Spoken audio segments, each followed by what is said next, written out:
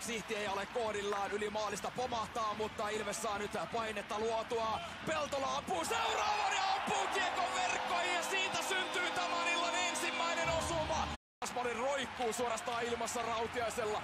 Meiskanen ottaa kiekon itselleen ja Rautiainen lämää! Ja sinne se menee ja sata maalia on siinä ja Rautiainen hyväkseen ja paukutti kahteen nollaan.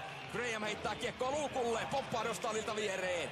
Sen jälkeen pääsee Ilves kiekkoon väliin ja Emeli Suomi saa kivuliaan osumaan samalla.